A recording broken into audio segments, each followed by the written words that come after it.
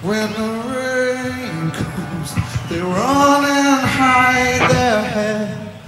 It might as well be dead when the rain comes. When the rain comes. And away we go. You're listening to Live on Four Legs, the live Pearl Jam podcast experience, featuring Mr. Stone Gossard.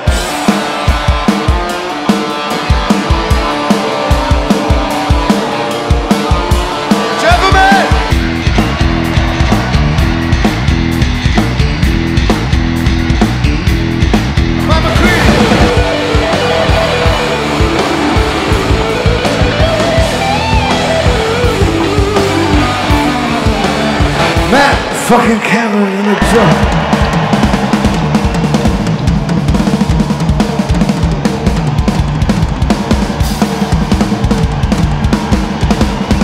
Mr. Boom Gaspar!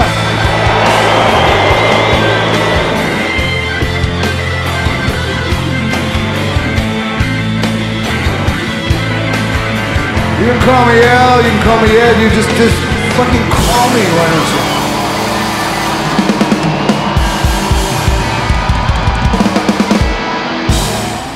Hello, everyone. Welcome to Live on Four Legs, the definitive live Pearl Jam podcast. Randy Sobel here, and uh, thank you for tuning in. Last week, we came back. We came back strong with Soldier Field, and it was a really good episode. And uh, thank you guys for tuning in and being a part of this uh, once again, as we're clearly back from our little summer break that we were doing. And uh, just for all of you that are tuning in for the first time, because this is a pretty prime episode here. Uh, this is a show that a lot of people uh, are going to want to listen to. Uh, and it's a show that a lot of people talk about for years and years and years. Uh, so if you're new to this podcast and this episode has drawn you in, just to let you know, we are a podcast that focuses on nothing but the live Pearl Jam performances. Uh, everything from every era. This is obviously the 92 era, but we do everything from now to 2003 to binaural to yield to no code to avocado back and forth and up and down all over the place we've done almost every year that Pearl Jam has toured so far, and we're not stopping. So we are going back a little bit of ways. We the last time, so I'm going to introduce our uh, our fi- fourth and final leg our new co-host here in a second. The last time you heard him, he was actually doing a show from 1992, the Zurich Show, if you remember. So let me introduce to you our fourth and final leg, along with John and Matt. Please welcome Chris Buckley to the podcast officially as a co-host. What well, thank is you very much, up? Randy. What's Con- up? What's up? Thank you so much. Congratulations! This is a spot that I've coveted for you for a long time. I, I I've been scouting. I've been doing a lot of scouting. Uh, you know, since since uh, since Matt had kind of been in and out, uh, and and you were definitely high on my scouting list. And you never give anybody an eight, but you had some sevens in there. well, thank you. Uh, thank you very much. Uh, I definitely appreciate the kind words. And uh, what can I say? It's an honor. I'm excited to be here. Let's do it. What uh what are you looking forward to the most uh, doing the show? Like what what are some of the things you're looking forward to talking about? Honestly, I I think just by the nature of the show, obviously we have to listen to the bootlegs, right, to be able to cover each show. So, Uh, no as big a around it. fan as big a fan as I am, and and so many of us are, there's always going to be bootlegs that we've never heard. There's shows that we forget about that we haven't heard in years, etc. So, I think just the chance to go back and rediscover and discover possibly some new shows that we've never heard before that we fall in love with and it'll give us a, give me a chance to really explore and, and hopefully find some stuff uh, unearth some gems uh, so to speak that i maybe was never even aware of before. So i think that's pretty enticing Absolutely, and I think um, what's what's what's great that you bring to the table is that you're really tapped in to a lot of their early stuff. I know uh, Yes. so you've been even though i wasn't around for it no, we. I mean, none of us here were really around for it. So, uh, but that's okay because you know, better late than never. Uh, Right. But you know, I think we've talked so much about you know when when are we going to do Indio, and that's one of the 100%. ones that's on your plate. You want to do Slim's Cafe. Are there any other from that era that you're, you know, really, you know, gnawing at the what? What what's the phrase you want to say? Nipping at ch- the ch- champing at the bit? cha- yeah, chomping at the bit. Cha- I think it, is it champing, chomping, whatever. Chomping, well, I I- would say. Uh. I mean, you guys did Atlanta. You know, I'm a big, big fan of Atlanta '94. That's one of my favorites. Um, Indio, as you mentioned, Soldier Field is great. I would say. I mean, this one we're gonna do today is right at the top of the list. I think. What's the other one I was gonna say? Uh, just slipped my mind. Um, Ugh, I can't I can't think of it now, of course, but uh, I mean, there's there's so many. I mean, I, I you know you could go on and on. I mean, a lot of those early Europe '92 shows like we did, Zurich is a great one. Um, what was the one I just had in my? Oh, I, I I don't know if this is maybe it's not as in the same realm obviously anymore, but '96 you have that Deutschland Hall show, that German show. Oh, that's Uh, on our list. November of '96 is a great one. Yeah, that's on our Um, list. Yeah. Uh, how about New Year? Did you guys do New Year's? Uh, you and Matt, did you guys end up doing New Year's? Not 91 into 92, but 92 into 93 where they played Ni- Speed Wash. We did, and that is actually for all you Patreon listeners out there. That is an exclusive ep- episode on Patreon. So if that's something that you want to listen to, go ahead and subscribe to our Patreon. Thank you, Buckley. You're already number one co-host of the day. Trying to get people to get over to Patreon, right? There we Yeah. go. Good plug. yeah so uh, i mean obviously in our first year and we're we're about a month away from our one year anniversary and i've always said that you've kind of been our first or one of our first fans. I actually have to give our first fandom to the person that is going to join us in a second. Uh, but you were one of the first people that I didn't know beforehand that had saw this on uh, one of the Pearl Jam pages that had joined the page, and then we kind of got in touch with you. Do you remember like when when you saw it and what your reaction was? Or yeah, was it just I free think you. T-shirts? No, I mean, well, what could I say? That was that might have been part of it, but uh, I think you had posted in the Facebook group, right, that you were starting the podcast and that you were trying to get people, or maybe it was just the the Fenway group because that was where we had the big meetup and everything. Um, I posted a lot of places. I still do. at Cask and Flag and the, the the big meetup. I I believe it was that was the reason you guys were broadcasting live. You know, showing yourself, um, making your T-shirts and Ah. the stickers and the all the different little knickknacks that you guys were bringing to the show beforehand. I remember just seeing that, and you you had given a little bit of a description, saying, "Oh, you know, we're from Long Island, and you know, from New York, and we're if you're around, you know, if you're familiar with us, you might know where we're from, etc." And I was like, "Oh, of course. I mean, that's where I am, and you know, what am I going to do? I see Pearl Jam, I see Long Island, I see Fenway Park. I'm like, all right, there we go. I I, I got to see what's going on here." So um, yeah, I d- didn't didn't really take long for me to to reach out. And I remember I would always comment on the live videos and everything. So yeah, it was it was pretty pretty quick. and we've beca- we've become good friends from there, and we've been to Last Exit shows together, and Mets games together, and Yep, Uh, Pearl Jam brings people together. And Sure does. Speaking of bringing people together, I want to bring somebody else into uh, into this and make this a trio. Uh, and it is uh, one of our Patreon donors, and I would like to call him officially live on four legs first fan even though i did know him at the time um, but there, it's it's special and I, I bring this up every time he comes on because there would be no live on four legs if there were no pearl jam fantasy league and bradley was such a huge part in getting that up and getting that together that uh, uh, he's here now and he's you know st- st- still been a friend ever since so we introduced to the podcast uh, first time since January. It's been a while. Bradley Piasecki, how you doing, bud? Hey guys, how you doing? We're doing What's up, great. Bradley? We're ready to do this. Pinkpop '92. Yeah, I'm glad. To, I'm glad to be back. Yeah, and uh, look, I keep saying it. Grand Rapids. If you haven't listened to the Grand Rapids episode yet, go and listen to that Yeah. because it's just it's.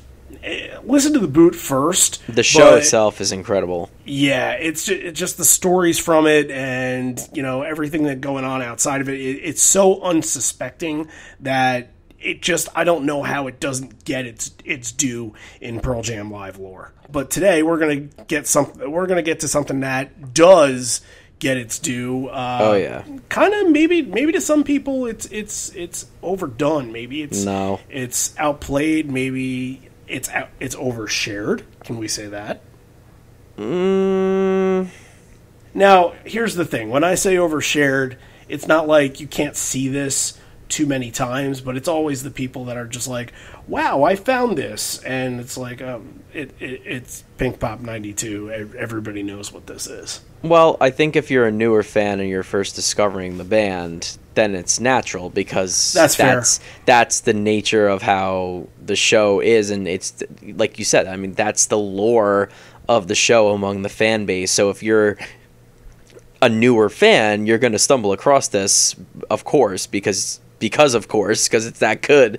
So people, I think, at first are in awe of how incredible the videos are, and it's you know you just get such a close up close view of the band at such a raw, young stage, early stage of their career that to this point you didn't really have outside of unplugged a couple months beforehand. So this is uh, that next step in really connecting i think the band to an, a a larger scale audience. And really as we were talking about before it's like a tipping point so to speak on the rising of the movement the rising of the popularity of the band. It's putting them in living rooms across really across the world but i mean really in europe.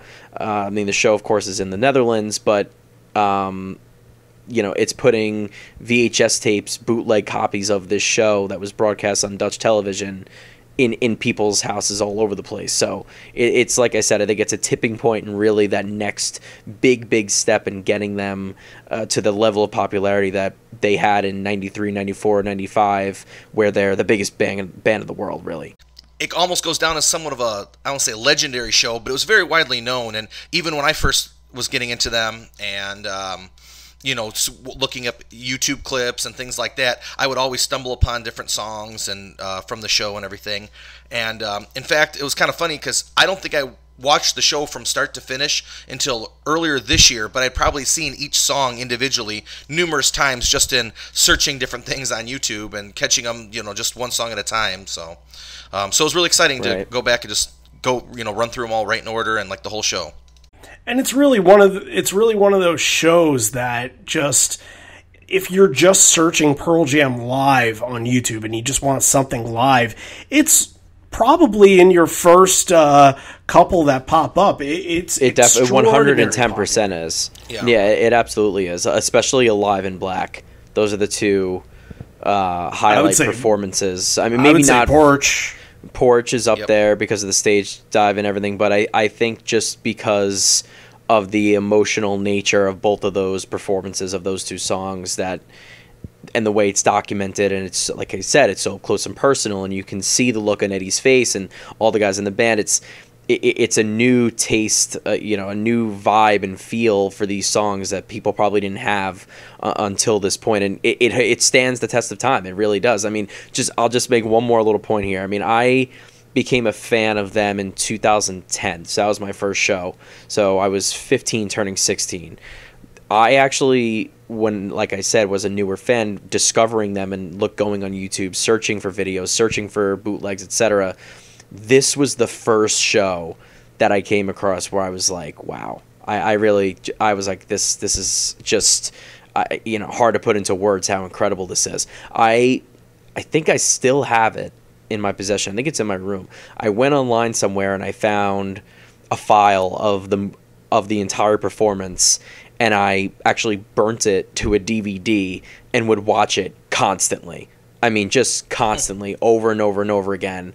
Every week I was watching this, just putting it on and just putting it on in the background. I'd be like doing, you know, homework in high school with this thing playing in the background because it was just that good. It's the kind of show where it's short, it's sweet, but it packs the most powerful punch imaginable for the band at this stage in their career, which is really, I mean, the nature of a lot of their early shows, but this one really stands out. I mean, this is like A plus plus plus energy and enthusiasm off the charts for them.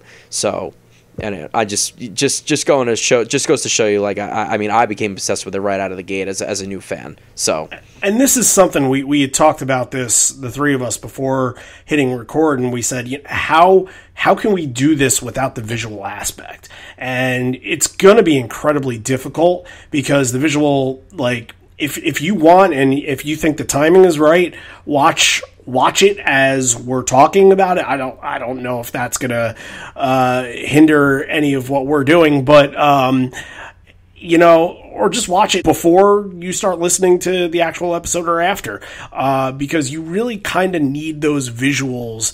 Um, to really get the feel of what's going on here, to really get the energy on stage, to really get the feel of the crowd and and it was rainy, it was muggy, it was dirty, and you know, it's just kind of again like another sign of a generation, Generation X.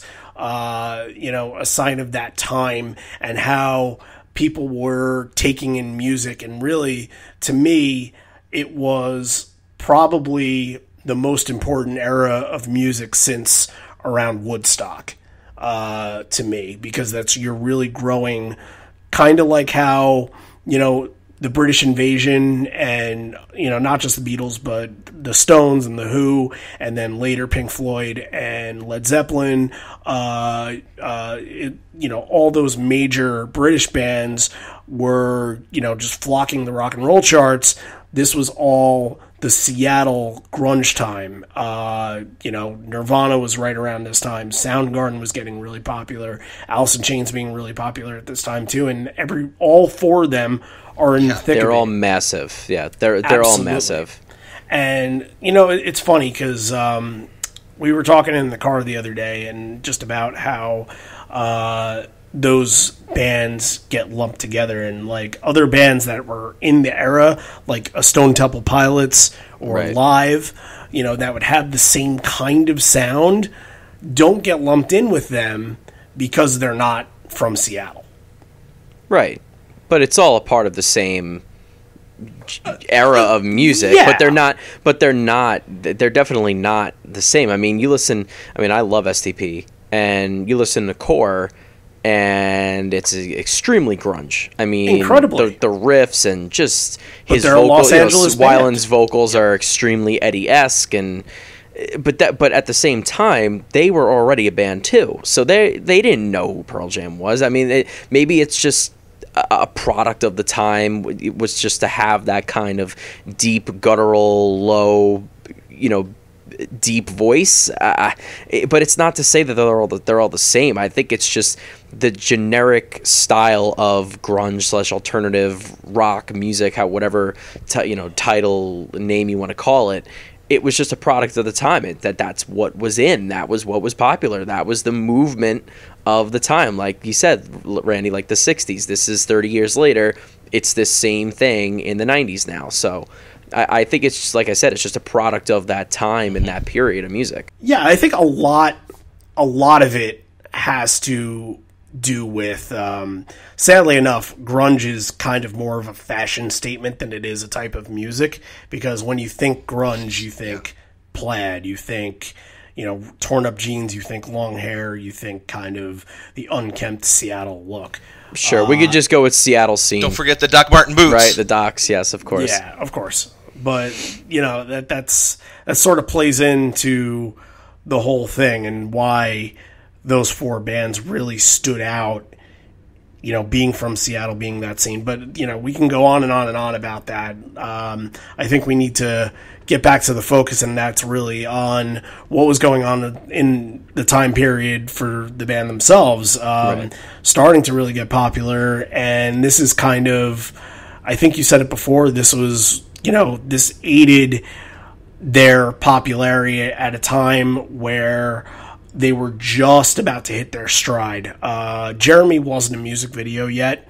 Uh, it was probably two or three months later that it would become a music video, and I really feel like that was the the point where they got pushed over the edge because of how uh, big that music video was, how important that music video was. Right. But as far as a standpoint of getting them out in the open, getting them uh, in front exposure. of exposure. Yeah, just exposure. getting them exposure. This was in front of 60,000 people. They had not played a show in front of that many people before that. That w- that was Well, that's what he says. The Eddie largest says crowd. that. and Yeah. I actually have I had some backup on that because uh, a couple weeks or months ago, Dave A on his Facebook page posted something uh, that had a, a Pinkpop clip in it or a picture of Pinkpop, and I actually commented and I said, "Was this the biggest show that you had done at, at that time?" and uh, he clicked like, so I, I'm going to guess he agreed with that statement. So uh, that, that that's better than We'll nothing. accept that answer. Yeah, Yeah, at least he acknowledged you. exact exactly. Uh, but hey, pretty cool that you know Dave kind of knows. I, I think he knows what the podcast is. Uh, so that's something to kind of Hi, Dave. throw in there. Hi, yeah. If Dave, Dave, if you're listening, hi. Uh, Come on the would show. Love to have you on for an episode Yeah. someday. Let's let's let's chat sometime. Did Um, you guys ever see just talking about the size of the crowd? And I think it's just it- this is a good little tidbit to add here. Have you ever seen the post-show interview I of the Dutch like reporter with with Eddie? I feel like I have It, I think it might be on YouTube. I don't know. I, I'm pretty sure. Because at the well, you, end- they show it. They show it in PJ twenty, I believe, don't they? yeah Yeah, I was gonna say I think the only experience I have with it is from the PJ20 movie. I don't, I haven't sought it out on my own on YouTube or anywhere else, but I have the MP3 in my in my iTunes library. I honestly don't remember where I got it from, but it's about five minutes long, and it's just the reporter asking him, Tell me, you look quite mixed up. Look at these pictures. I'll show you these pictures. I'll show you why I feel the way I do. It's a little bit overwhelming to see this many people. I mean, I'm sure you've been looking at this all day. There's a lot of people. We're used to playing small clubs, you know. And he, he's just like basically crying essentially over the fact that they just played for tens of thousands of people. It just goes to show you that this was uh, impactful not just on their career but on them personally. This had a really profound impact on them. I mean, that goes back to our conversation that we had in the Zurich episode. Um, Right. That they played the Volkshaus or Rock House, whatever it was. Volkshaus. Uh, Volkshaus. Uh, and they didn't even have room on the stage for their equipment. That's how small clubs they were playing. And that was only, what? That was in February, and this is in June? That's four or five months. That That's like that's going from you know from nothing from rags to riches in almost no time at all And I mean, they were only playing like 45 minutes. Even Soundgarden, you know, they're playing the same show. I think both bands, even though they're incredibly popular at this point, uh, maybe like we said, still on the rise, so to speak. They haven't. This is they're at that just before the moment where they truly, truly explode. They're only playing 45 minutes. I mean, it's a short set. Granted, it's a festival, but I mean, these are two uh, huge bands at the well time. i'm pretty sure And- talking heads are the headliner right I think so. Yeah, David Byrne. I was- he talks about David Byrne. And, yeah. yep. yeah, I thought Dave, I was gonna say I think David Byrne was the headliner that night. i think i've, I've seen the listing on that before and soundgarden was at the bottom of the bill and there, there were bands in front of pearl jam and soundgarden maybe they were just like popular in europe but You guys want to hear something really funny? Because I just What? Googled Pinkpop 92 just to see who else played. You know who else played? Buffalo Tom. Oh, oh yeah you're right How about that? you're right yeah Little Fenway uh, 2018 tidbit. that's pretty very cool interesting. That is. It looks like the Family Stand, the Cult, Soundgarden, a Dutch folk band by the name of Rowan Hees, Rowan Hazy, uh, sounds PJ like a Vi- Harvey, viking corps Yep. Uh, Lou Reed, David Byrne, Buffalo Tom, Pearl Jam, and a Dutch, another Dutch band, Hallo Venray. Yeah. So it's like it's not very a- eclectic. Yeah. Yeah, it's not a bad bill at all. Like, look, you got some legends in there: Lou Reed and David Byrne and PJ Harvey. Like, there's a lot.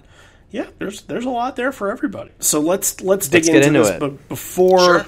we get into the music, since this is a very visual show, we have to get into our fashion report. Ed is sporting a brown corduroy jacket at first, takes it off, woo Backwards woo, hat.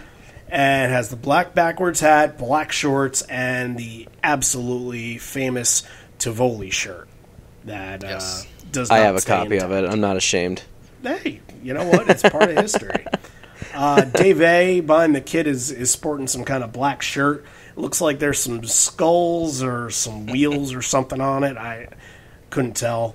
Uh, Jeff, signature bandana, starting off with a, a black long sleeve shirt. He would go on to take that off into a purple tank top, a very, you know, 19, a very 1992, you know, probably basketball court kind of thing to wear. He has all the basketball figurines on the bass amp, Yep. bass head.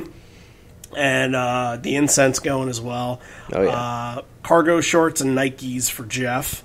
Uh, Stone, you know, this, I, I'm going to get into it with Stone. Stone fashion. bit. Can I just say something as a side note? We Please should do. have an episode all about stone fashion. I, I think that's fantastic. We could probably do an entire separate podcast just on stone fashion. I, I think that is something um, we can we can do it now. We can do it tomorrow. uh, it, it is something we can do. Like we're going to do the the evolution episodes of uh, you know how songs evolved throughout time. Uh, we can do an evolution of Stone 100%. and just just fashion, not Did just. it? uh, Correct me if I'm goes. wrong. Did he wear a yellow turtleneck with a cowboy hat and sandals once? I And shorts? I think he did. Was that the 10th anniversary I would anniversary not show? be surprised. I'm not sure what show it was, but I remember seeing that image. The one that sticks out to me is the David Letterman. oh yeah, with the orange. The orange, yup. The Yeah. orange uh, polo sh- or rugby shirt, whatever that was, and the uh, he looks like a creamsicle or a highlighter or something like that. He had shorts and then a, uh, an orange beanie as well. I think. He That's- looks very typical uh, '90s Stone in this one, though. Very, very um, like a, a bunch of the other shows that you'd see him in in the early going, and then it's after this, once they start to grow, is where his his fashion tastes begin to expand and become growingly more bizarre. That's one of my comments in this. Is just how did Stone go from like cool looking, f- popular Goatee, band guitarist, long hair. long hair, to like total nerd that does his little duck wing strum. You know what I'm saying? the little duck wing thing that he does. Yep. Like when when does this transformation happen? Because it's just it, it's so I don't know like it, it feels like in this point in time like he's somebody that is cool and then he turns into like a total geek I don't but a geek you want to hang out with Oh yeah. He- he's he's a he's a nerd with a lot of musical groove, so yeah we'll take it. Um, I believe he's wearing a Muhammad Ali shirt I couldn't tell I believe he is as well. Yeah, I couldn't tell what it says. Uh, and then finally rounding out with Mike Fashion, Soundgarden T-shirt that says something like uh, "Don't eat meat" or something on the back. On the back, it says "louder than meat." Louder than meat. Okay. Yeah. louder than meat. And then on the front, it says there's some sort of phrase underneath where it says Soundgarden, and there's like a picture in the middle. It's hard to make out. I'd have to watch the video, but obviously not gonna do that right now. yeah, it, it was it was diff- it was difficult to see. He is sporting a leather jacket uh, In the beginning, in the beginning, and that's that's where we start here. Uh, it, it cuts right in, and and you know, um, I, I wonder where the footage is, if there's any footage at all, or how this all came about. But this, someone would have unearthed it by now. you would think, Yeah. this starts, and if if that that's you can't find any versions of even flow out there. Uh, you know, this is something like Bradley. If if you were you said you would watch every individual clip. You probably never saw the even flow clip because it's only 40 Right. seconds long. It's just the end of the song. So this this kicks off with Ed on the scaffold, and they're just about done with the bridge and getting back into the chorus.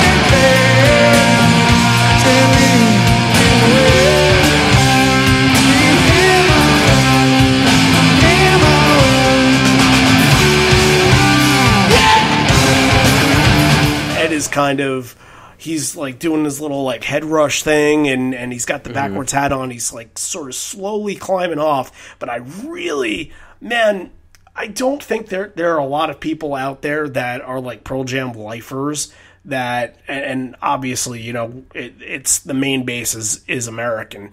But um there's got to be somebody out there that went to the show. And if there there is please live on four legs podcast at gmail.com you have to get in touch with us you have to tell us about your experience there because i'm sure once in a lifetime I would love to know.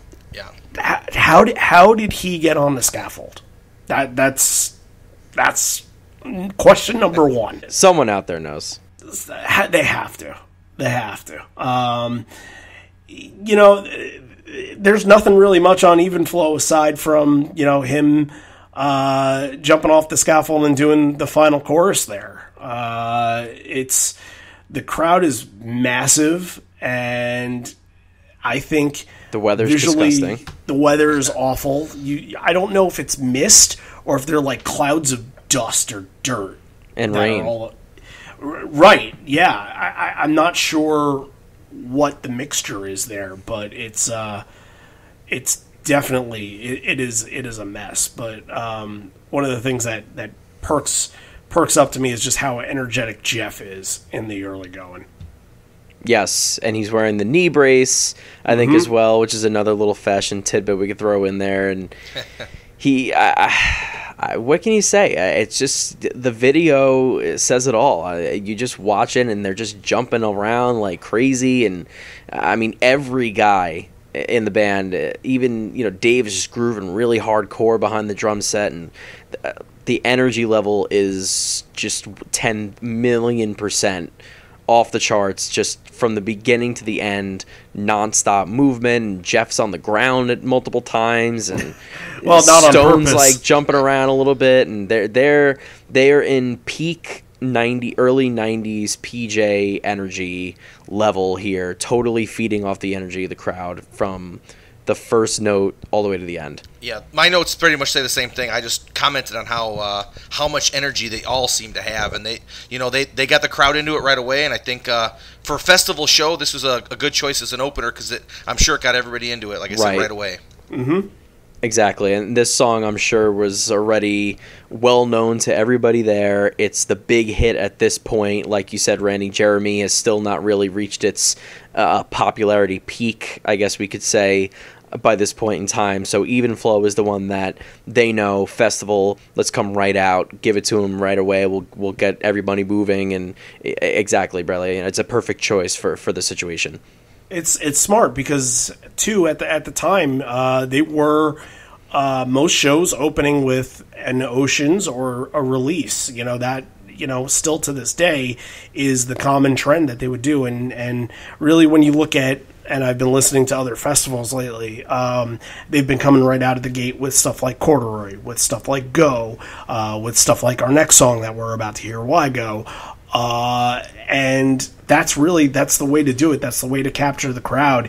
If they were to start off with release, the crowd would have just kind of not known what to do with themselves. They would have stood Yeah. there. the only low, quote unquote low energy song in this entire set is Black. Black. Right. Not to spoil it, but everybody knows it's, it. I mean, it's not really a spoiler. I mean, everybody knows. Uh, it, it that's the only song here, honestly, of the ten. What is it? Ten songs that that you could really say is. a a bit of a break, a respite from the jumping around like maniacs. So Yeah, I was gonna say like I know when I see them, I I prefer the slow burn opener, but like at a festival, you know, I I totally get it. They want to get everybody into it right away, and they kind of I assume they want to use a hit just because there's probably a good chunk of people there that aren't there just for them. There's people who are there just to see Lou Reed or just to see um, Soundgarden or whoever, and they might not be that familiar with them. So I think you know. Kicking off with something that they probably would recognize is a good way to get people like uh, engaged right away. absolutely.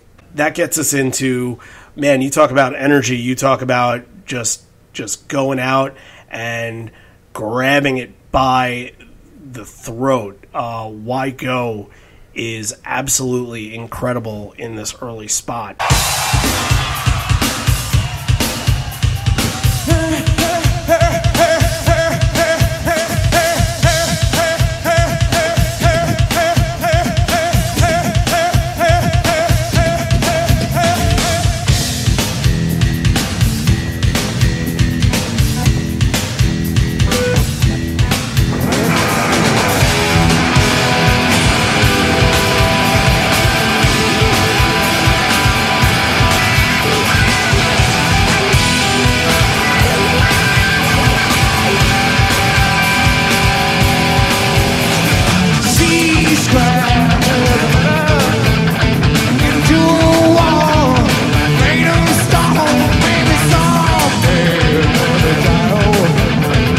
I think when at least, especially from Eddie's perspective, I mean, to be standing there in front of sixty thousand people, seeing them all saying, "Hey, hey, hey," back to him, it's and I, I feel like we can't understate enough how impactful this concert is. Again, just for, like on a personal level, for them to, to be going from club shows where they can ba- barely fit, like we said, their Yeah. gear on a riser to then seeing this sea of faces in a country that they're not even from singing and, and just going nuts along with them that I think has a lasting impression. I mean, he, he- we've seen these Polaroids that Mike has taken, that Eddie has taken from the show, and it's clear that they have never forgotten that moment. I think that it- just to even connect it again in 2018 when they went back and played, it was extremely evident with Eddie wearing Right. a Tivoli shirt, and again they played it in 2000, and he was wearing the shirt, and he meets the cameraman again, and it, it, it's there,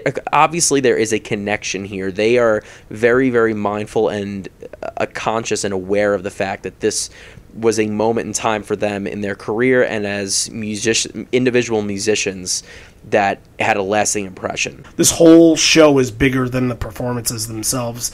It's really again go watch everything as we're talking about it after or before, uh, and you really get the feel for it. I would I would guess that probably ninety percent of the people listening to this have seen this at least once or twice or five thousand times. So.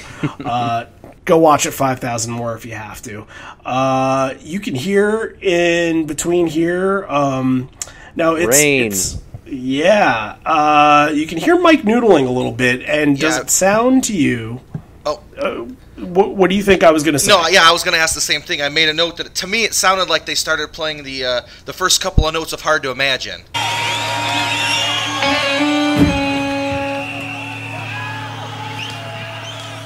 Yeah, they were well. They were known for that uh, in the beginning. Um, Right. I think a lot of these early '90s shows before Hard to Imagine became more of a widespread, well-known rarity.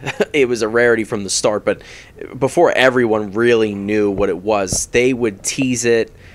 Uh, Stone would play the opening was an improv. lick riff there. It's like an improv that became a song, and I think that's an ex- early, ex- another early example of them kind of, you know, Mike's just kind of like you said, noodling around, messing around for a second, but you know they're short on time. They don't have time for any uh, lengthy improvs like they do in some of their other shows at, at the clubs and everything like this. So uh, Eddie doesn't take long to launch into Jeremy, but um, yeah, cool little tidbit there. Yeah. But that's not uh, before Ed gives a little line from uh, the Beatles song "Rain," Right. Um, which again, you go back to the throwbacks, uh, the callbacks. Uh, they played it in 2018, right? They played it 2018 and 2016 in uh, In London? Wrigley. Uh, In Wrigley. Right. Yeah, Ed singing "Rain" and then uh, calling out the next song called "Jeremy."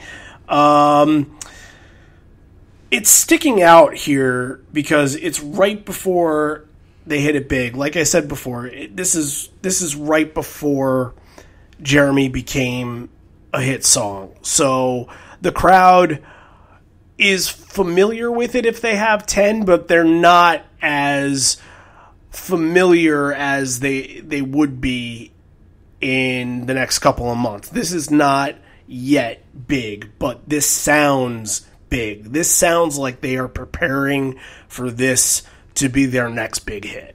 Yeah. Right. Like they took extra care to really give a, a strong effort on this song. Not that they wouldn't have anyway, but it's it's a top notch performance. I, I love the ending.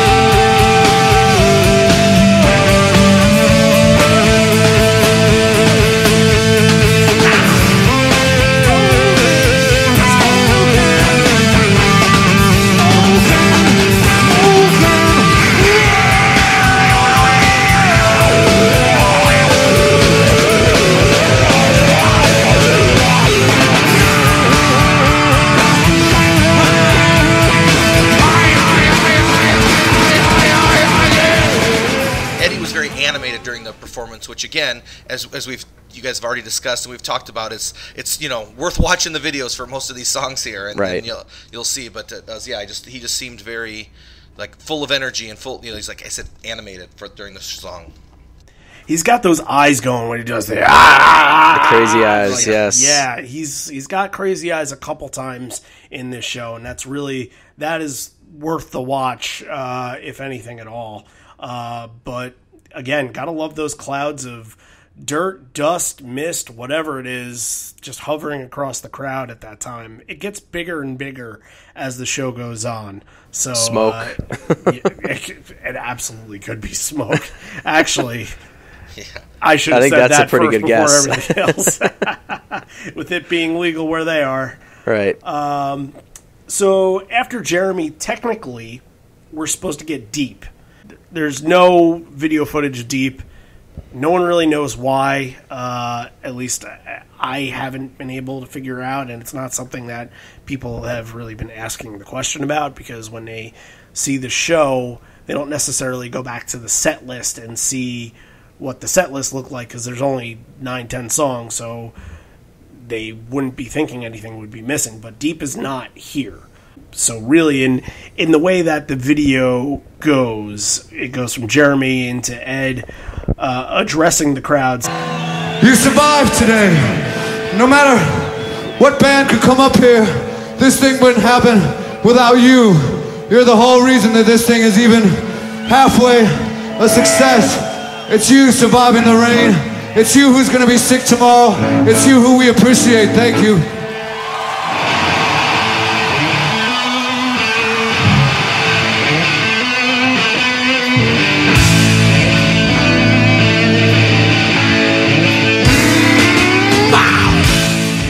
This point of watching, and this is more of a technical aspect of how it's shot. Like from no other show that we've watched from like you know any other DVD from the Live at the Garden DVD from touring band stuff from most other shows there's no other show that shot as intimately as this show is it feels some of those shots especially the ones way behind Dave A it makes the stage feel so huge uh, the shot the shots on the sides uh, next to Stone the shot next to Mike um, they almost never give you a front view of the whole entire stage. It's it's either a really tight close up of Eddie or it's one of those other shots that I mentioned there. And it makes you feel like you're it's so intimate like you're on the stage the whole entire time. You know why that might be, and that's actually a good point. I never really thought about that, but now you have me thinking. I, it's probably because it is so early in their career, and they are so young, and it is a festival where they are not in a position to say, "Oh, we'd prefer you stay back a little bit." We don't, Right. you know, they don't control it. They're not in control of the recording and the videotaping of their performance. It's the festival and the TV station or whoever that's broadcasting this that's coordinating and is running this entire operation. So they're not going to be able, they're just not in a position at this point to be like, hey, listen, like, we really don't want cameras up on stage with us while we're playing. Same thing with Soundgarden. You ever, if you ever watch the performance, Cornell's flipping off the camera in its face when the camera is like right next to him. So Right. it just goes to show you they probably didn't want it that way, but they also don't have the leverage and the uh, the, the clout at this point in their career to really make that request and be like, listen, we, we, we can we do it our way? Like, we'd really prefer you kind of stay back. We don't really want this to be done like this. But then, obviously, as time goes by, it it kind of changes and things aren't as up close and personal over time. You know what I mean? Yeah. That makes sense. I never actually really thought about it, but that makes perfect sense. I just think from a directing standpoint, it was it was just a job well done. Whoever the director of this performance was, or or even the whole entire time, just the way that the cameras were positioned, it's it's really not a way that you get to see bands nowadays. And I, I wish that we would go back to that because it, it does feel kind of homemade in a way and it feels kind of raw in a way. That's what I was noticing during a live. Like a lot of these shots are real quick shots of just everybody emotional and energetic and running all over the stage. Um, you have Ed smashing the mic at the end, uh, and he's screaming his yas, and he's screaming back to the crowd. That's that's a really important moment in the show right here. He's like beating his chest, not beating his mm-hmm. chest, but like kind of like t- tapping his chest as he's doing it, really, really in sync with the rhythm of the song. Like, mm-hmm. yeah, yeah. It-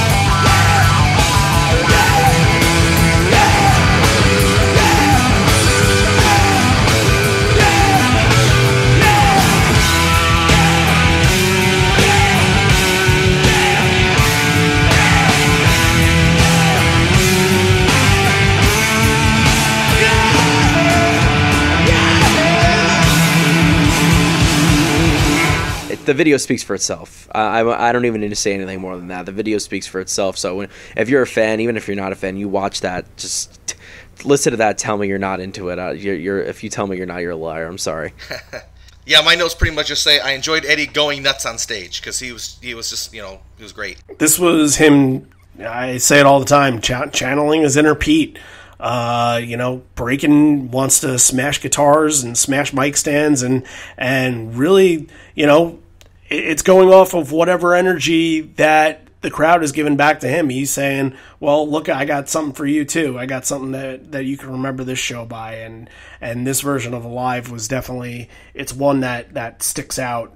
Plus the War Pigs tag at the end. The War Mike. Pigs, yeah, that's uh, absolutely. Um, they and and they'll go back to that too. That's another thing that the, that they'll go back to sometimes. Sure. Very Definitely. subtly. Yeah, I was gonna say Very, very subtly. my the first time I listened to it, or I should say this first time I re-listened to it, I didn't I didn't even catch up or catch the War Pigs tag. And then when I on Live Footsteps when I saw, I was like, oh, and I went back and listened. And then I you know since I knew what I was listening for, I was able to catch it. But but uh, it was very subtle the first time, or for me it was anyways.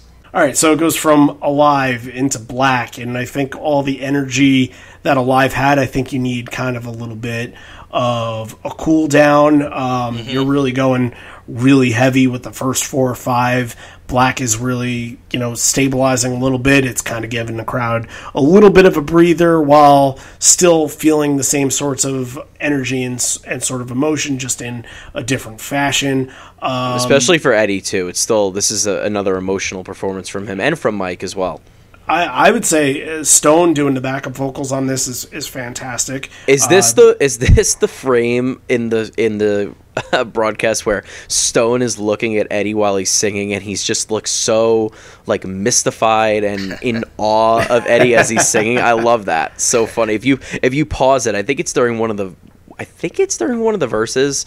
You could see Stone's face in the background, just like with his eyes like half closed, like looking at Eddie while he's singing. It's so funny. If you we'll have to it- find the screenshot. yeah, Yeah. definitely. It's um yeah, this is I mean it was all fun and games before this, then you go into this and it's it's heavy hitting stuff. Uh the We Belong Together tag, it, it really starts to ramp up, the crowd really starts to get into it and you can really start to feel the passion there.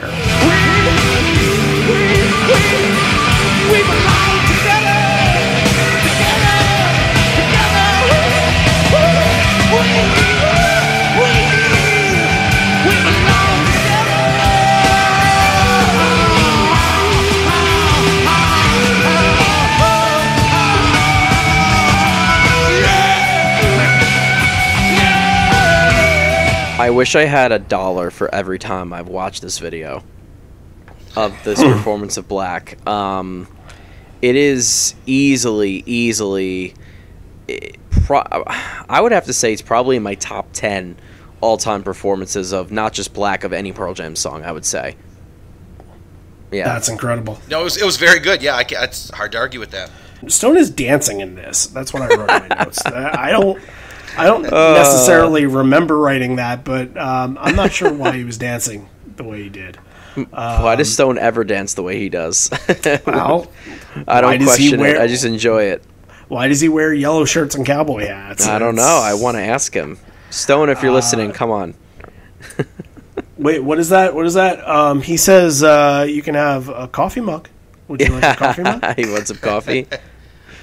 Uh, drop the leash, drop the leash, get out of my fucking face. This is the angry youth anthem uh, that has been come to expected at this time. Um, obviously, a year before Versus came out, uh, but intensity, passion, all these songs, and and this is just even though there's less of a familiarity with it, I, I would think that bootlegs are probably sparse at that time. That fans are just kind of playing off the energy and playing off what they hear. But uh, boy, was was was this good, and was this a special version? Yeah, it was. I Yeah. thought it was very good. Yeah. I it's hard to believe this was the I guess this is right the 47th time they had already played Leash at this Leash point. had been Leash debuted, I think, early '91. If I November want November 9th, 1991. Wow. They closed they closed with it at Bender Arena in Washington DC. wow. Yeah, you know, I was looking up something too, just because out of curiosity, because I also found it interesting that it was the 47th time, because it says it only been, it's only been played 130 times. Well, I went and looked when the album was released, and so by the time the album was released, they had already played it 68 of the 130 times. So more than half That's the times they played it was before the album was actually released. And that was Yeah. 26 years ago now. Right. The al- coming Yeah. coming up on 26 years since the album's been released. So Yeah. clearly they they had kind of had their fill of it and it's also hard to sing, I think, and it definitely doesn't have the same kind of uh, flair to it these days that it did back then and I think that has a lot to do with the just them being older now, more mature. Oh, Uh, this sure. is like you said, Randy. It's like that, yeah, like anti-establishment youth anthem of Mm-hmm. the time. So I think that has a lot to do with it. But this per- specific performance is definitely one of the. I mean, every song really is like a highlight for the show. But Yeah. the, another perfect example of the energy uh, on display here in the, at Pinkpop for sure. Stop police! Stop police!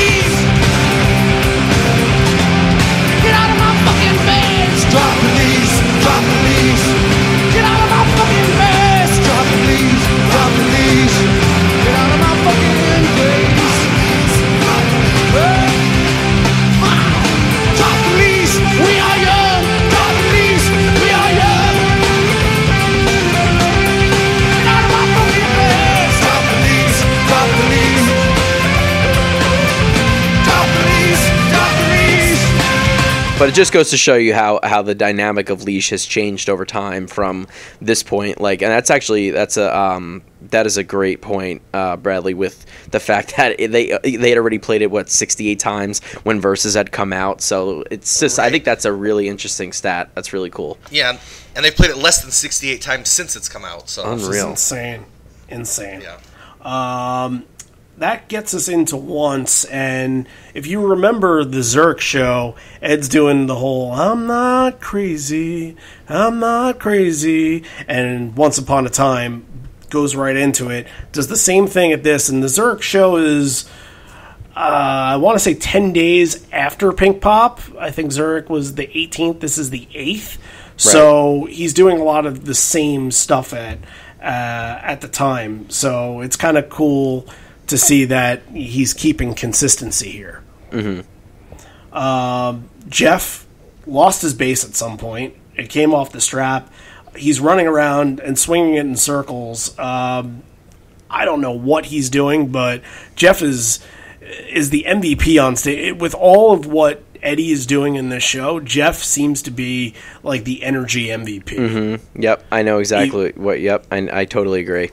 Even though Ed is doing everything he does. But what Ed is, you know, Ed is doing par for the course Ed kind of stuff for 1992.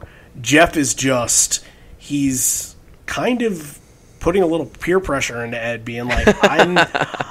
I'm really going buck wild here. What he was feeling got? some type of way that day for Yeah. sure. Mm-hmm. Um, it's really again this song visuals the insane eyes that he gives you it can happen to me it can happen to you uh, or i don't even uh, i don't even think it was that i think it was i got something to say Yeah, i got the, something to the, prove the other the other one you're thinking of is that was the Zurich show. That was Volk's Yeah. house.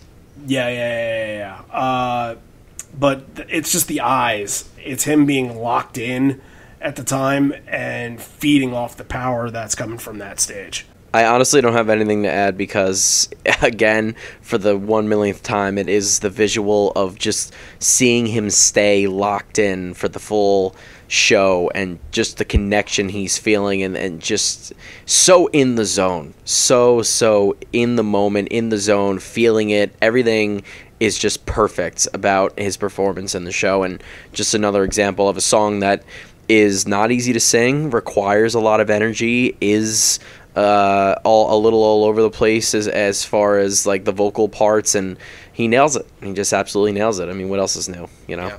along with everything else that has that we've talked about and everything else that we're about to talk about, it's kind of it's almost paling in comparison in a way. Like, you know, alive, black, porch that's coming up, the pulled up tags that's coming up. Uh, once I don't want to say it's forgotten about, but it's like with everything else, it's it's just sort of it's it's like the lettuce.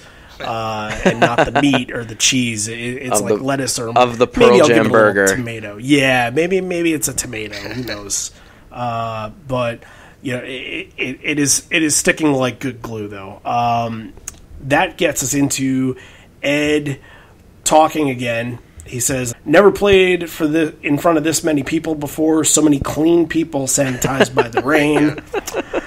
Never played with David Byrne. So weird. Hopefully, we'll, hopefully we'll play with Soundgarden. they're kind of like always- friends or something Yeah. yeah. And then uh, this is interesting. We always talked about if we moved from Seattle, we'd move to Holland. That's uh, I mean, and I is get he just why. saying that I, I- the, you look at him in the way he's saying it. he he's seems like, pretty yeah, he earnest seems yeah, pretty sincere does. it. Yeah. If it's for more than the the weed, then who knows? But what about what about that story with that girl, the bicycle girl? You guys heard that that Yes. uh, come back around, Yes, right? I did. yes Was that before this show or after? That was in, I want to say, the spring of this year. Right. I think Wasn't it was just, So- yeah, it was one of the Eddie Solo shows. I thought. Right. The solo show was just a few weeks Right, ago. right, or that's- well- would, like what was Yeah. it, mid late May. But you're talking about the original show Yeah, yeah, the one that he where he met the girl. where he met her. Uh, let me let me try to find that really quick. Hang on. Yeah, because I mean, if you haven't seen the story, it's it's an it's an amazing story about how Ed had this uh, connection with this girl uh, that took him home on a bike, and he had her brother's sweater or something like that. Yeah, so you Um, you know it's funny. It was the Tivoli Utrecht show in 1992. Oh, How about that? How Yeah. about that? So what was the date from that? So it's the actual article. This is from June twenty fourth, twenty nineteen. So he was in his show um, in Amsterdam, June 9th, About. Yep, Yeah, and there's the picture. right. There they are. That's crazy. If if you have not, if you're listening to this and you have not read the article, j- just Google it. I actually just to, just to tell you, I googled Pearl Jam Holland bike woman. That's and, enough. it, yeah. and it came up. And it came up. Uh, Yeah. All right, let's see. 92. Utrecht Tivoli, March 4th. March fourth. There you There go. you go. There Good you go. I'm 92. So I wonder if at this time he had the strong connection to Amsterdam, to Holland, uh, because of of a very special moment that he had. Uh, after If you read the article, it really special does appear that way. Yeah. Like Th- I, this he seemed really into this woman at the time. right, right, The woman was there, and I forgot about this part. The woman was only there because she was trying to see the opening act because her friends were in the band. That's right. And the name of the right. band was City Pig Unit. That's a fantasy team name So for you right that's there. That's a great name. City Pig Unit, CPU, computer, These City Dutch Pig bands, Unit. man. Uh, she offered to call him a taxi, but he asked, "Do you have a bike?" He wanted to ride on the back, so she borrowed her brother's bike, handed her um, and handed her backpack over to him to carry. Uh, he jumped on the back. He wore her brother's red flannel shirt because it was cold and nighttime. Again, it was March fourth. Um, she described their farewell as a bit awkward, if not endearing. She gave him her address so he could return the flannel. Then they shook hands. He waved goodbye until she rode out of sight, forgetting that he was still wearing her backpack. He was so shy and modest, she said, that almost made him so nice. Also, oh, not almost, also made him so nice. So it says she tried over the years to reconnect with him, but to, to, with no luck until this year. So really, yeah, really she was cool trying story. to get attention. She would go to shows and try to get attention to security guards, and it, it didn't work. And I feel like it was somebody in uh, the the string quartet that Ed was it touring was with. yeah, I think it was year it was the cello player, I believe. okay. So he he connect he connects with the the cameraman from Pinkpop in one year, and then a couple months later, he's reconnecting with this woman from you know from Tivoli. Just so cool. Uh, he has lots of strong ties to to this country, and um, you know, I, I didn't even have the, this was just kind of off the cuff. I didn't even have the bicycle girl in here, and it's such a The Tivoli such an connection's perfect. right. It's such an important story to the time, and and you can see, like you said, in in his face, it looks like he's earnest, and I'm wondering if he's thinking during the show, will we will I get to see her tonight? Is she here? You Yep. know, like you know, he's he's a rock star, but he's not he's Right. not above it. Yeah. He's very down to earth. So anyway, uh, Mike, during that little part, uh, first of all, Eddie says, "I'm I'm never usually this nice. I'm I'm usually pretty mean," um, and it sounds like Mike is playing Wild Horses in the background. Did you pick up Yes, yes, on that? Okay. yes. I, I was listening to it. I'm like, I know this, and then I started singing this, and I'm like, oh, Right. oh, Wild Horses. Okay, there we go. It's just one of those things that you have to sort of work your way through. Uh, that gets us into porch. Stage Uh, dive. Man, what what do we say? Uh, It's, honestly, it's so there's really quintessential. you really don't even have to say anything uh, other than just go watch it. Right. Like of all of the things that we've said so far to go watch, if we had to, you know, gun your head pick one song to to pick to go watch right now, this would be the one because it's stage dive to end all stage dives. Cameraman floating from the stage out into the crowd so he can jump off and you I'm know so surprised that the cameraman was so just willing to let him do this. Right. That he wasn't like, "Hey, get off! That's not safe to do that." That he was like, it was a different okay. time. Yeah. Yeah. Instead, it seemed like he was just like, "Okay, how can we do this safely? If you're going to do this, I'm gonna help you do here." this. right. Um, and they kind of you can see the jib that's kind of moving towards the crowd a little bit and you can see the cameraman start to get uneasy but you know that's that is not an easy job up there by the way. That that just being just being up there and you're not in control of the jib. Somebody else is controlling your jib on the bottom. So the guy holding the camera is up there and basically he can zoom in, zoom out, and he has no control of what he's doing. He just has to get direction in his ear to uh, who he should have a shot on. So, uh, again, Ed climbs upon, Mike is during the solo, and he kind of there's a brief pause and he wants to make sure he has everybody's attention and do this as safely as possible and then there's the dive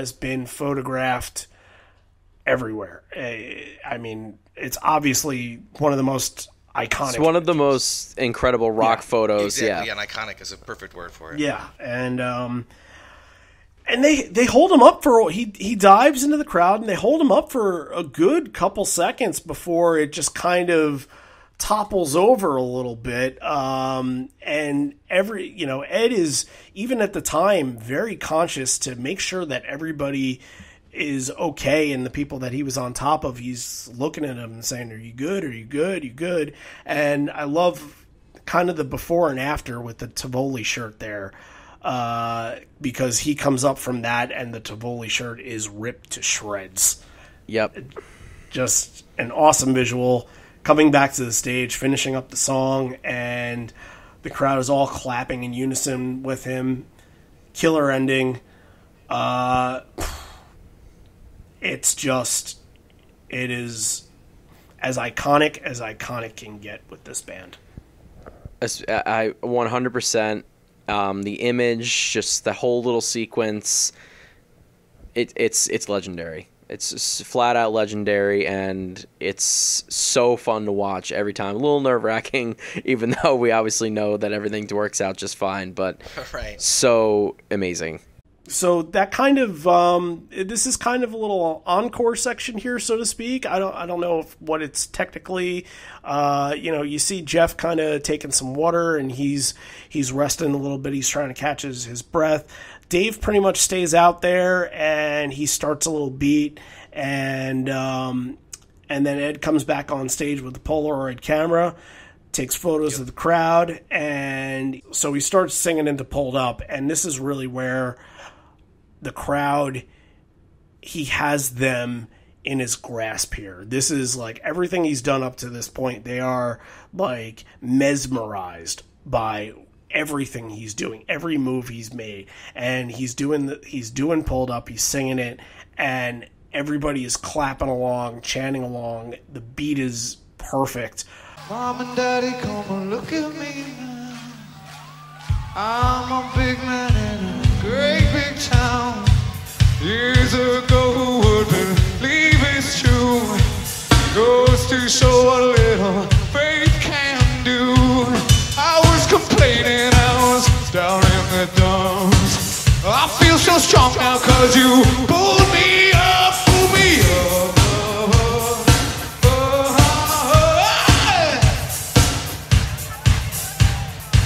what else could be more perfect about this Nothing really. Yeah. that's One of my favorite parts of the whole concert, honestly.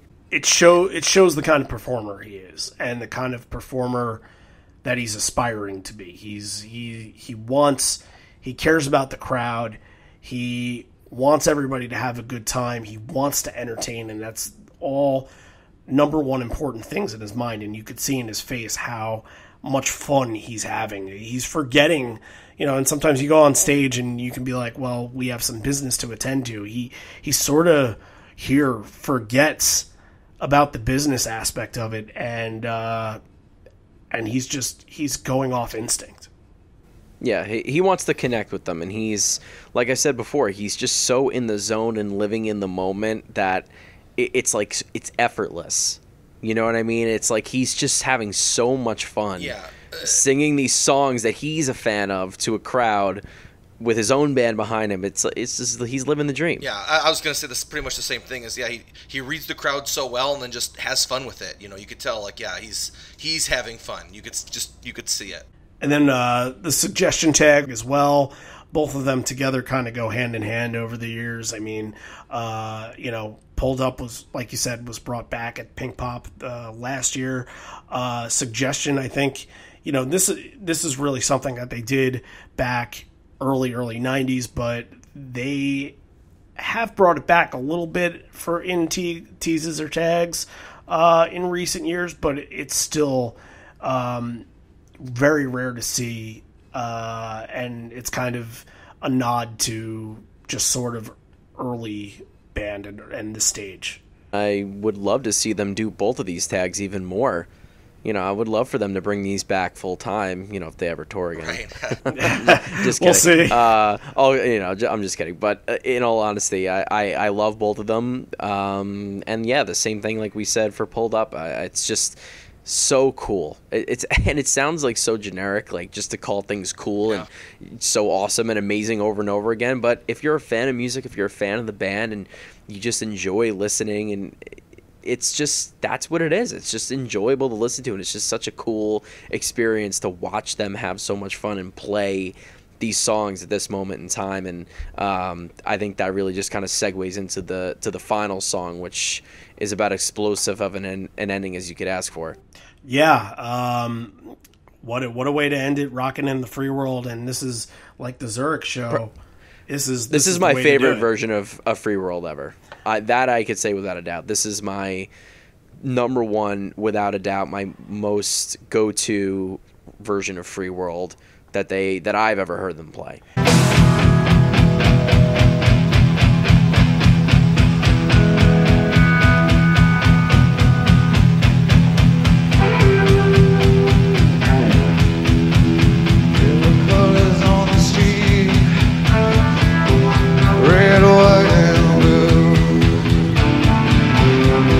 People shuffling their feet. People sleeping in their shoes. There's a warning sign in the road ahead. There's a lot of people saying we'd be better off dead. Don't feel like saying bye out to them. So I try to forgive them any way I can. Yeah!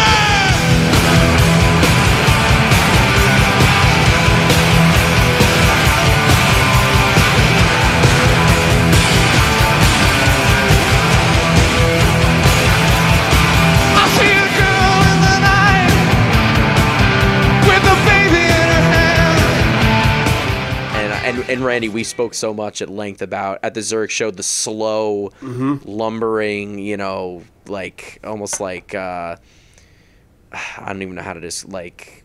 It sounds like a bunch of like cave people, like the, the you know the drum beat in the beginning. Like Let's kind of dun, say like dun, a dun. train chugging along. Yeah. Yeah, exactly. It's just it. I love love how they draw that out until the um, you know the the ending of like that first verse. I guess it would be before it really kicks in and they they kind of get going. You know what I mean? Right. Yeah. The, look, the if it w- wasn't insane in the crowd before, this is you have to watch the crowd shots in this one because there's way more of that smoke or that dust, dirt, mist, rain, whatever it is. There's way more of that than there was before. There's way more people that are wild that realize that this is going to be the last song of the night. This is it. And they are cherishing every moment of it. And the band is too, because I feel like the band is seeing at this point, like, we have to say goodbye. That's really, that's a shame. This has been such a, a good night for us, a memorable night for us, that we have to go out on, on the most str- the strongest foot possible, and and Yeah. they killed it. Only other thing I would add to that is that both of Mike's solos here are amazing, and they're amazing. Not in they're not. He's not like shredding. You know how like there's a lot of solos where he's just shredding his Yeah. ass off. You know what I mean? This is these two solos are not really where he's you know kind of going like up and down the neck and really really just like kind of you know doing his typical you know sh- face melting kind of solo. It's a very basic but very emotional and it, it just fits very well with the performance of like this the this old style performance of free world for them. And i it, it just it suits it so well where he you know he kind of like plays like one note for a really long time with the wah on. And he, you know if you watch him play he's kind of like going into like hendrix territory with his face you know kind of just like feeling it like staring up into the sky and just like kind of losing himself in the moment. It's just uh, the the way the to watch him play it is honestly almost as much of a pleasure to, to listen to him play it. You know, I thought you know Mike killed it all the whole show, and this was you know just a perfect way to cap it off. sure. Yeah, uh, just the whole thing, you know, energy wise, just performance wise, crowd wise, everything was level up to a 10, up to an 11. Everything was capped off beautifully. Uh, and the visual at the end of Ed walking off the stage and kind of perching himself I guess against uh, I don't know like a stairwell or something like that, and just head head in his hands. And this must be right before he gets interviewed, like you were saying before. Definitely. Uh, and you know he just looks exhausted, exhausted. But there's a sense of pride there too. There's a sense of you know, I I went and did this. I I took a chance going from San Diego to Seattle, taking a chance on this band because this was my shot. This was my shot to get here. And it took about 2 years to do it. But even in those 2 years it's it got to be going through your mind, well, when's the big moment going to come? When's the moment going to come? Right. And then the moment comes It and came. it hits you. and it like man, I I can't imagine what's going through his head at that point. Oh yeah, he, he seemed like in awe, look of all you know, just of what happened. Like you know, like you said, it took two years for him to get there. There's, you know, you, you have to all the cards have to fall right for it to happen. There's obviously people bands been around for 22 years who've never still never had the opportunity to do that, and so I think he's just Sure. just so like not relieved, but like I said, it's just in awe of the whole situation, and you know, and he and he knows he gave it his all. He you know he you know put out a hell of a performance. Um, it, it- it's hard to truly describe how amazing a performance this is, other than for the again one thousandth time to say, just go watch it. Yeah, So that's that's where we'll leave it with this. And you know, we have to rate it, but it's not going to be a secret what everybody rates this. I, I think it would be unfair to not rate this a ten. Um, actually, oh, 10. Yeah, Yeah. hundred percent. Since we're all in agreement to that, uh, I we did last week. We did, and I got to remember to do this now since it's now a part of the show. Uh, top three moments from this show. So, who wants to go first? Share their top three. Oh, okay. Go ahead, Bradley. Um, well, I would, s- I would, s- to me, uh, Why Go was a huge, huge, um, one of my favorite parts. I really liked, uh, you know, like we said, the Hey Hey Hey intro. I liked uh, how angsty Eddie was. Um, so that was that was definitely one of my favorites. Um, uh, Porch, you can't, you know, like like you guys have said, it's you know one of the like um, one of the pinnacle porches of all time. So you know, so, so that would be there. And then, um, uh, you know, I I'd probably say Black. Black was so good. It was you know it was the one kind of like you said the one breather moment in the uh, in the the one lull, if you will. But the thing is, they didn't let it become a lull. They just used it as a, as a breather, and it was just like, Right. such a Right. powerful emotional performance. So, so um, yeah, so I'd probably go with those as my um, my favorite parts. All right, I'm gonna cheat a little bit, Randy. I'm gonna lump a couple things together. Oh, so boy. the the no the outros of both Alive and Black, I will lump together because they're both outros and they are both equally impactful in my fandom and how much I love them. Um, I will say the stage dive is number two, and that whole sequence, and then um, I think again, like just that whole final sequence of pulled up suggestion and free world, that combination of listening to Eddie have so much fun and then basically flip the switch and all of a sudden he's, you know, singing free world and screaming. Um, and, and the Mike solo, so just that whole little ending, you know, the, the, the encore, I guess, if we want to call it that, uh, would be moment number three, that, you know, whole little like 10 minute sequence or whatever it is Yeah. um, as they wrap everything up and, and really put a bow on what is a gift to everyone that just listened to uh, what they saw and, and heard. I'm gonna go top three. Number three is probably. It's not really. A, it is a part of the show, but it's not. I'm I'm gonna go with the camera shots, just the way that Nice. the camera was positioned, because I think that without the the placement of the cameras, I don't think it has that. No, yeah, that's very true. Of That's a good point. So I, I really, I, I that's you know, quietly was one of my favorite things, and Mm-hmm. and me too. Like I, I think that more important to me.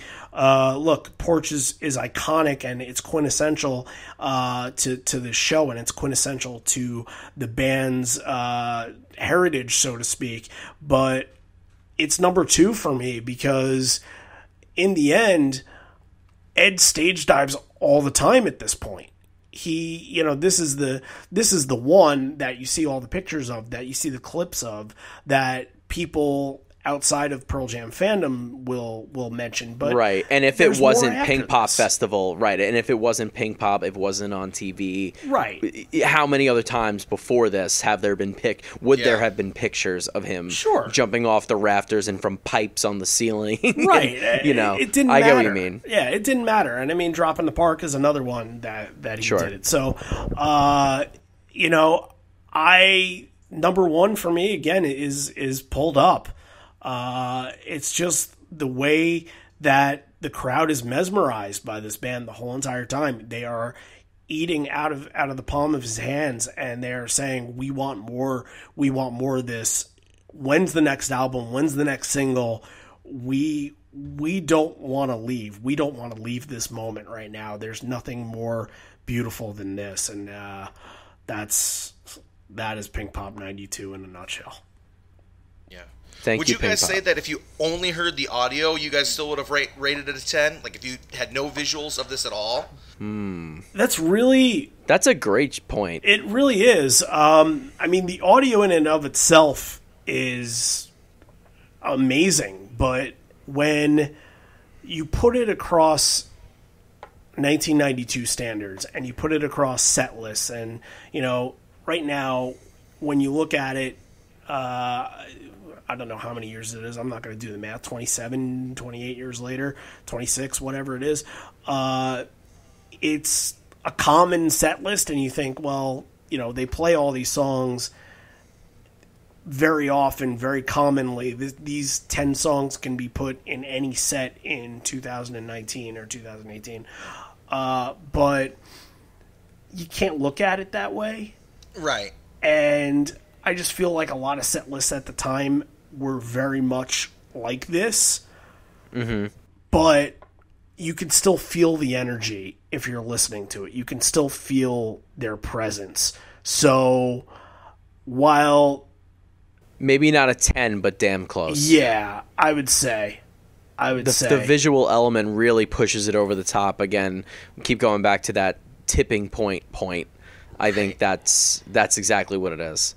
Right, yeah. Because I know there's a lot of the other bootlegs I've listened to, a lot of them I've only listened to the audio from, and so I just then it makes it kind of I think back and wonder like how much more I may I may have liked it had I watched the video of the same show or of the same grouping of songs or something like that. So Right. I- obviously this is one that um, that really highlights how, how important or how how much the video can influence, especially as you said, Randy, when it's shot so well and and you really could you know get a good feel for everything. Absolutely. Yeah, that's, you know, again, we're we're a visual generation now. We need to see everything.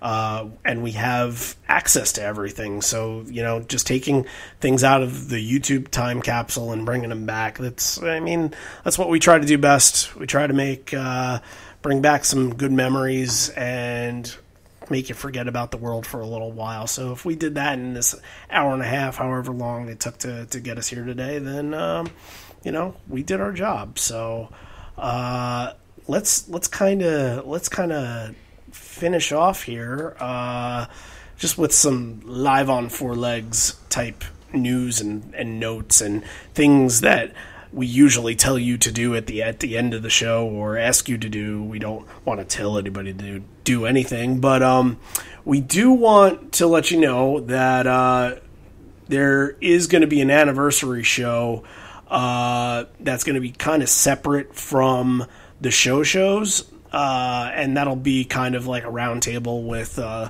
the four legs discussing um, just you know where we've we've gone to with the show and over the last year and kind of what to expect moving forward. But an important thing about that is that we're going to do a get ready for this. We've done a lot of giveaways recently, but they've been bootleg giveaways. This is going to be a poster giveaway. Oh wow. We Ooh. are giving away a poster on our anniversary show. The only thing that you have to do is you have to go to Apple Podcasts, you have to give us a five star rating and a comment. Let us know what you think of it, what you what your favorite episode is, what your favorite moment is, what you want to hear from us next.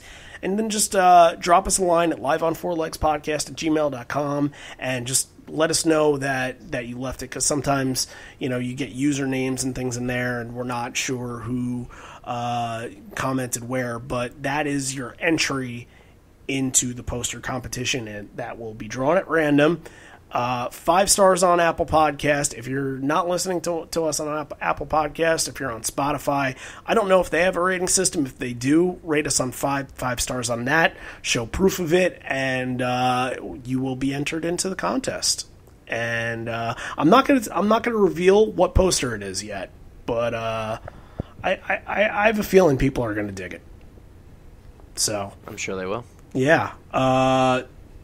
And al- as always, since we're doing uh, the Wednesdays, uh, dropping dropping shows on Wednesdays now, uh, you guys know the deal now. Trivia on Facebook at about eight o'clock, maybe eight thirty, depending on uh, whatever I have planned that night. So keep it locked. If you're listening to this on Wednesday, there's trivia on Facebook.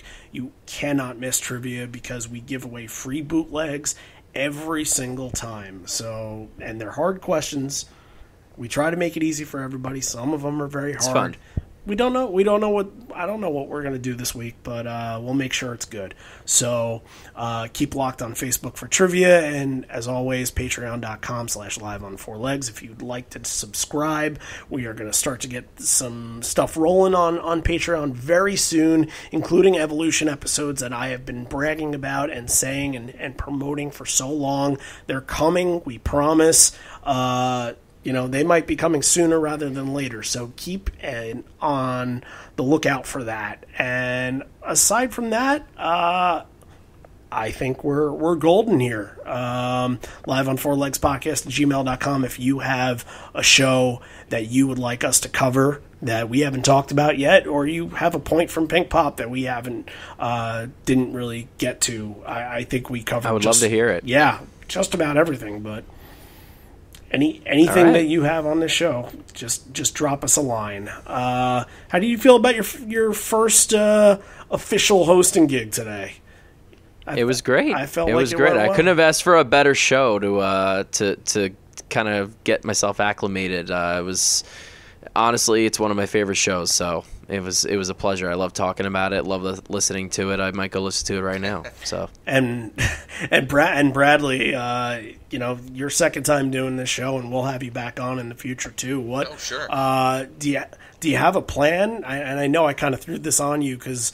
Uh, our original summer plan was to do a bunch of festival shows, but uh, and I wanted to get you on something, so I figured, you know, since it had been six or seven months since you had been on the show, we'd get you on something really, really good uh, since you've been Oh, in yeah. from the beginning. But is there uh, what can we look forward to the next time uh, you come on our show? Oh well, there's a couple shows that I attended that were fun. I liked the uh, Charlottesville show in 13 was a lot of fun. Um, That's London. Ontario in uh, 05 when they did the Canada tour was a cool one. But even aside from that, anytime you'll have me on, I you know I still love talking about shows and um, and it's it's neat to you know listen to a show that I wasn't at just to kind of you know you know because like because you you guys have obviously done this you know the whole time but um, it's neat when you just look at a set list it seems some things could look really good some things could look bad. You don't really know until you listen to the whole set list all the way through exactly. the whole show. And so it's it's you know anytime I can have an excuse to listen to a show I haven't already listened to I would I'll jump at that. And um, and so yeah so I'm down for anything you guys will have me for And that's Awesome, man. again, yeah. Thank you for coming on, and thank you for being a part of this. Bradley is a Patreon subscriber, and uh, you know, not not only that, but he's a good friend of ours too. So if you if you want to be a Patreon subscriber, head on over, pledge however much uh, you would like. It helps the podcast, it helps us grow, it uh, helps us stay intact as well. Um, but you know, mo- most importantly, that's your in. If you want us to cover something, that's the best way to do it, and we'll have you on the show to do it with us. So, uh, again, both of you, thank thank you for coming on, and uh, this is the end. We're here, but not for much longer. And although we may be parting ways, I miss you already. I miss you always.